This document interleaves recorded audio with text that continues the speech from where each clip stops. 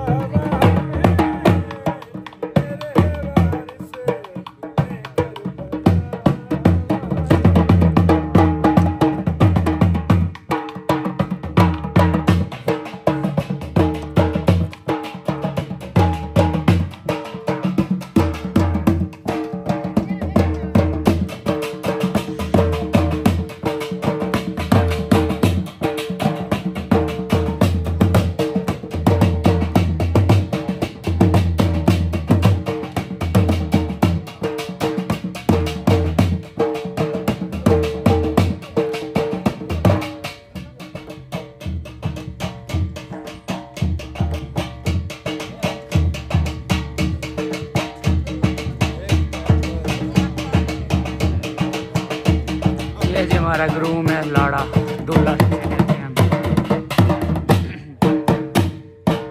ਲਾ ਦੁੱਲੇ ਨੂੰ ਵਿੱਚ ਜਾ ਪਾਇਆ ਜੇ ਕੰਨ ਥੱਕ ਜਾ ਸੁਣਾਉਂਦੇ।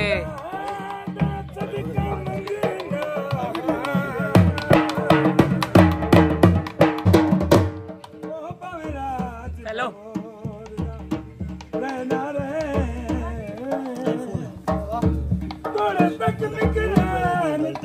ਹਾਂ ਇਹ ਹੁੰਦਾ ਇੰਨਾ ਕਿਥੋਂ?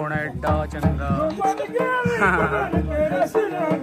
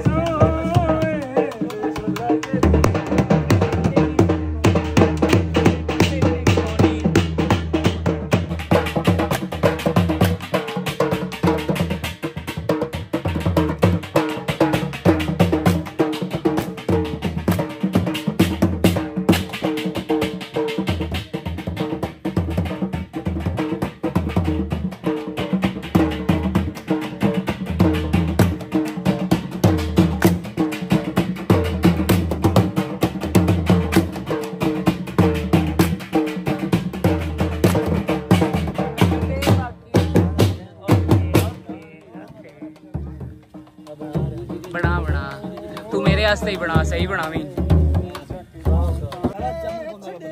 नहीं लाइट एक पास से ही है सेम ही है। ये हमारे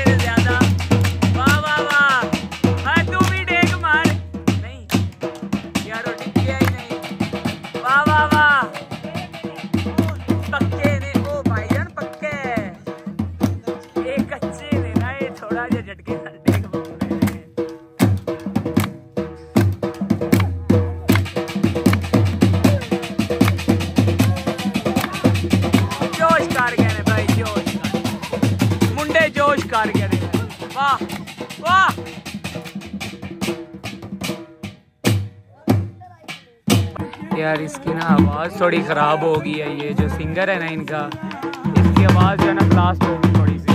इग्नोर करो